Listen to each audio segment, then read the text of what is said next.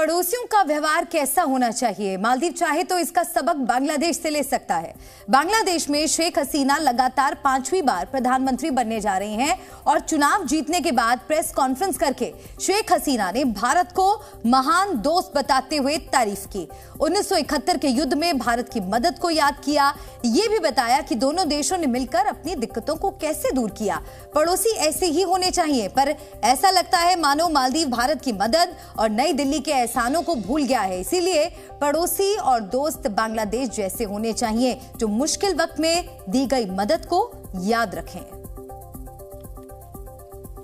India is a great friend of Bangladesh. 1971, they supported us, and also 75, they gave shelter to us, me and my, my sister and my, myself, and also other family members.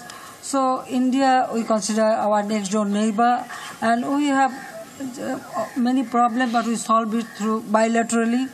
So I really uh, appreciate that that with neighbor we have wonderful relationship. Z News.